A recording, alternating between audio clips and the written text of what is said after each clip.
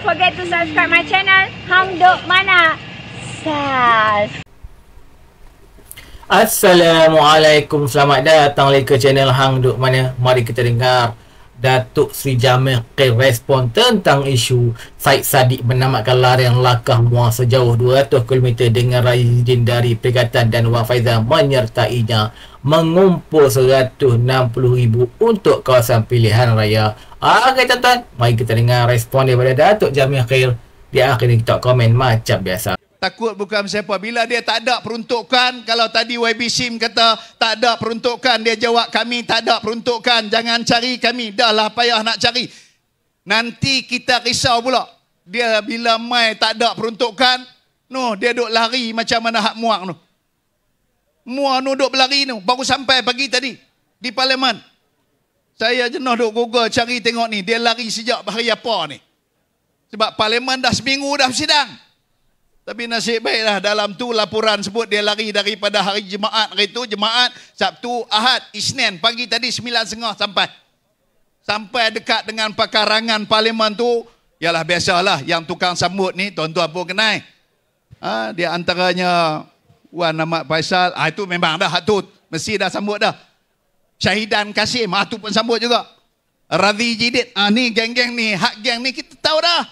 Jadi sebab itu tuan-tuan, Jangan tuan-tuan silap pi tekan pangkah nombor dua takut dia lari daripada sungai bakap pula pi pula komta pula besok. Kita nak suruh dia pi jumpa bahas di, di dalam parlimen. Bukan nak suruh lari.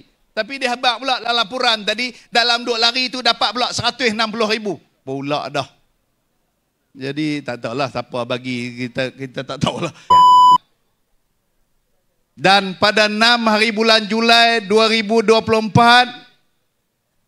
akan adanya PRGK pilihan raya dan pengundian dalam menentukan siapakah calon yang bakal mewakili Sungai Bakap.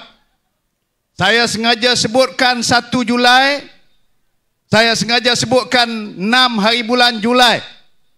Artinya dalam bahasa yang paling senang dan mudah, kita hanya lagi berbaki lima hari, empat hari lah sebenarnya daripada sekarang untuk kempen yang seperti ini. Enam hari bulan dah tak ada kempen. Enam hari bulan ialah masa untuk nak memangkah. Besok dah masuk dua hari bulan. Artinya yang saya cuba sampaikan ialah dalam tempoh yang ringkas ini enam bahkan tujuh sebenarnya hari bulan Julai sudah tidak ada lagi suasana dan keadaan yang seperti mana kita hadir pada malam ini. Tak ada lagi kemah besar macam yang kita duduk. Tidak ada lagi kerusi yang disusun di padang ini. Enam hari bulan tuan-tuan jangan main cari pula kemah nak duduk bawah ni. Tujuh hari bulan lagi tak ada. Tujuh hari bulan juga tidak akan ada lagi riuh rendah di pekan Sungai Bakap. Di seluruh kawasan. Untuk don Sungai Bakap ni dah tak ada dah makan-makan. Dah tak ada dah ceramah. Dah tak ada dah orang datang ke tempat tuan-tuan dengan membawa pelbagai rayuan termasuk yang disebutkan tadi dengan segala fitnah yang YB Sim sebutkan. Tak akan ada lagi dah. Habis apa yang tinggal kepada tuan-tuan. Saya pun tak datanglah. Yang Mak Berhormat Ketua Menteri akan datang. Sebab mereka akan meneruskan kepimpinan di peringkat Pulau Pinang. YB SIM pun akan ada di sebelah jiran parlimen Bukit Mentajam. Tapi Jamil Khair, kita duduk dekat dengan jerai sana di negeri Kedah. Saya balik berdepan dengan menteri besar saya yang duduk ada di sana. Tapi tuan-tuan yang saya nak sebut bukan soal itu sangat. Yang saya nak sebutkan, enam hari bulan malam sebenarnya, Dah tidak ada lagi pertemuan-pertemuan yang seperti ini. Tuan-tuanlah yang menentukan diri tuan-tuan di Sungai Bakap ini. Tuan-tuanlah yang menentukan siapa yang bakal memimpin tuan-tuan dan akan dinobatkan tak tunggu tujuh besok dia akan diumumkan pada malam 6 hari bulan Julai hari pengundian sekitar 10 malam kita dah dapat tahu dah siapa yang bakal untuk memimpin sebab itu tadi ini Cikgu Jo dah bangun berdiri di pentas ni Tuan-tuan saya nak sebutkan pantun sebelum Cikgu Jo pergi. Pantun untuk Cikgu Jo kalau cari tempat mandi pertama teluk, kedua pantai. Kalau nak mencari pemimpin sejati, pilihlah yang pertama elok, keduanya pandai. Tuan-tuan, saya tak tahulah kalau Cikgu Jo dengan saya, ialah saya lah segak lagi pada dia kot. Tapi tak nak cari pemimpin. Tuan-tuan cikgu Jo. Yang elok dan kemudian yang keduanya pandai. Tujuh hari bulan besok tidak akan ada lagi tuan-tuan. Orang yang datang sama pilihlah pemimpin yang telah mereka berikan taraf ISO. Tak ada dah ceramah tu. Bahkan waktu dia perkenalkan pemimpin mereka untuk nak mewakili parti mereka, mereka sebut di atas pentas pula mai kemudian oleh kerana nak marah kepada minyak diesel dia pun tak tahu nak marah kok mana. Dia kata tadi saya jumpa satu pak cik naik motosikal pak cik tu tengah naik motor tiba-tiba tolak motor. Dia tanya pak cik tu pak cik pasal apa pak cik tolak motor? Dia kata saya pun tak tahu pasal apa dulu saya bubuh minyak motor ni lima ringgit penuh elok jalan sampai ke rumah tapi hari ni separuh jalan sampai Rupa-rupanya saya tak sedar minyak motor saya ni minyak dah naik harga. Saya masih lagi taruh minyak sebanyak RM5. Itu yang tak sampai kena tolak tadi. Ni penceramah atas pentas sana. Saya tak nak sebut nama tapi penceramah atas pentas sana bagi tahu minyak motor bubuh RM5 tak sampai dah sekarang kerana diesel naik. Tuan-tuan, tuan-tuan tolong tenang Ustaz agak-agak motor jenis mana keluaran siapa yang pakai diesel ni? Ni ceramah yang disampaikan sebab itu kita tak pelik. Maka sebab itu tuan-tuan, pada tujuh hari bulan, enam hari bulan yang akan datang, sebelum menjelang dan menjelmanya tujuh, yang kita akan kembali dalam keadaan yang biasa. Kita kembali menjadi penduduk sungai bakap yang biasa yang sudah tidak dijengah oleh orang yang tidak lagi dilawati oleh orang yang tidak lagi didatangi oleh orang. Maka kitalah yang akan membawa diri kita dan sungai bakap tempat kelahiran tuan-tuan. Maka di saat yang demikian yang saya paling nampak relevan dan juga yang paling pentingnya ialah tuan-tuan pada waktu itu pastikan calon yang tuan-tuan pilih nanti ialah calon yang boleh membawa diri tuan-tuan dan boleh membawa bahagian dan juga khususnya Don Sungai Bakap ini dan boleh memudahkan urusan. Tuan-tuan takdirkanlah 18 bulan yang Tuhan takdirkan kerajaan perpaduan. Yalah kalau ikut-ikut dulu ni tuan-tuan saya pernah tak pernah berdiri atas pentas ni. Saya tidak pernah bersama pun atas pentas yang seperti ini. Dan daripada jauh kami duk tengok. Saya kenal sahabat saya Dr. Mujahid Yusuf Rawa ni lama sudah. Tapi berperang atas pentas setiap kali kita ada pilihan raya, setiap kali kita ada ceramah, perang atas pentas. Dan pada waktu tu bagaimana YB Sim kata tadilah. Pas bagi tahu waktu tersebut Ketua Menteri Pulau Pinang kebetulan waktu tu Lim Guan Eng. Waktu tu Lim Guan Eng ni di kalangan masyarakat, pimpinan-pimpinan utama PAS di atas pentas mereka, mereka panggil YB Lim Guan Eng ni dengan panggilan Khalifah Omar Abdul Aziz.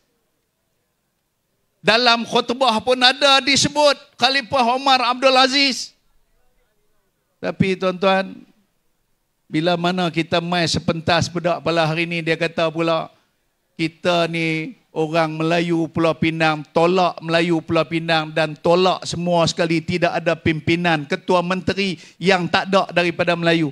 YBC dah sebut dah. Saya tengok dalam Google. Sejak daripada wujudnya kerajaan Pulau Pinang. Sampai hari ini ketua menterinya semua daripada orang-orang yang, yang bangsa Cina.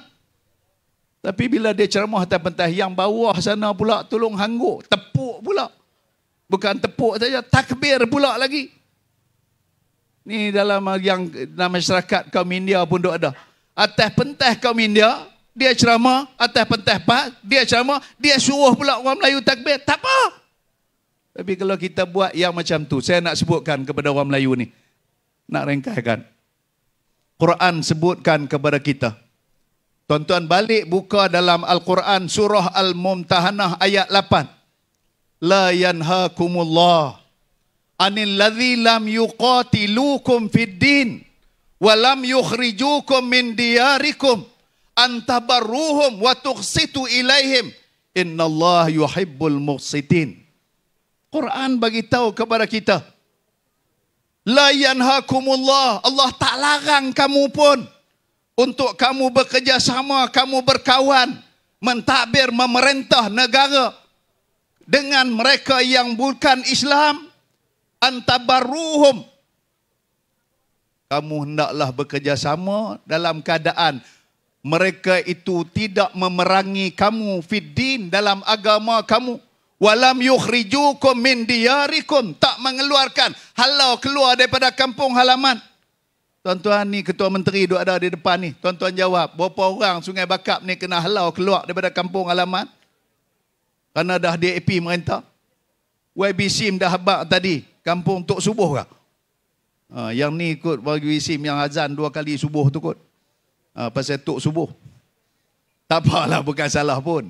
Kampung Tok Subuh ni, tuan-tuan, dipertahankan oleh seorang yang berhormat parlimen daripada DAP, daripada bukan Melayu, daripada orang Cina. Tapi mempertahankan kampung di atas dasar kerana soal pentadbiran pengurusan yang telah diaturkan dan soal kemanusiaan. Tapi oleh kerana hari ini kita dah tak sepentas dengan mereka, mereka anggap bila kita berkawan dengan DAP ini, dia panggil apa kat kita? Dia panggil apa? PAS dengan uh, UMNO dengan DAP kawan. Istilah dia panggil AMDAP. Dia sebut, ha, dulu pasal amanah dah kenal lama dah. Sekarang ni, UMNO ni, AMDAP. Bila UMNO dengar ni, sakit telinga. Tuan-tuan, PAS berkawan dengan DAP tiga kali di dalam sejarah mereka. Dia tak sempat nak ulas. Tapi tiga kali dalam sejarah berkawan mereka tersebut. Dalam berkawan hari itu, giliak kita berkawan dengan DAP, dia panggil AMDA, AMNO DAP. Adakah AMNO pernah panggil? PASDAP.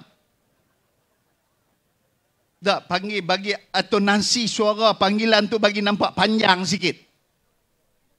Tak pernah kita panggil. Kalau kita panggil pada waktu itu pas dap ataupun dap pas. Anda dengan sambung lagi. Dah, kita tak sebut pun. Tapi oleh kerana kita bila giliran pada kita, giliran kita tak betul, giliran lepas ini semua betul. Jadi sebab itu tuan-tuan dan perempuan, meraihkan teman-teman kita yang masih lagi ramai, yang amat berhormat, belum cakap lagi ni, sebab Yang Amat Berhormat ni sebagai Ketua Menteri yang menerajui Pulau Pinang. Tuan-tuan, saya nak minta sekali lagi pada 6 hari bulan Sabtu yang akan datang. Tuan-tuan, tolonglah pilih calon nombor. Jangan pilih nombor lain daripada satu, tuan-tuan. Takut bukan siapa. Bila dia tak ada peruntukan, kalau tadi YB SIM kata tak ada peruntukan, dia jawab kami tak ada peruntukan. Jangan cari kami. Dah lah payah nak cari. Nanti kita risau pula. Dia bila mai tak ada peruntukan, no, dia duk lari macam mana hak muak tu. Muak tu duk berlari tu. Baru sampai pagi tadi di parlimen. Saya jenuh duk Google cari tengok ni. Dia lari sejak hari apa ni. Sebab parlimen dah seminggu dah sidang.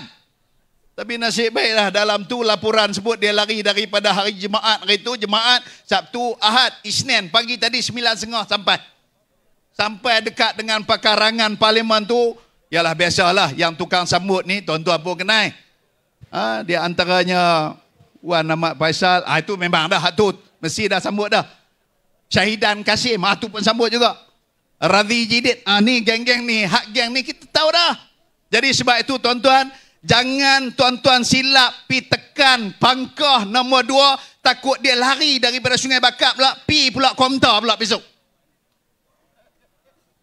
Kita nak suruh dia pergi jumpa bahas di, di dalam parlimen. Bukan nak suruh lari. Tapi dia habak pula dalam laporan tadi dalam dua lari itu dapat pula 160 ribu. Pula dah. Jadi tak tahulah siapa bagi kita kita tak tahulah. Tapi maknanya sambil nak kena lari sungai bakap nak kena lari pula dia bagi tahu dia kata pi komta komta tak boleh nak dengar pula cakap dia. Nu lari pi tak mana pula tak tahu penin.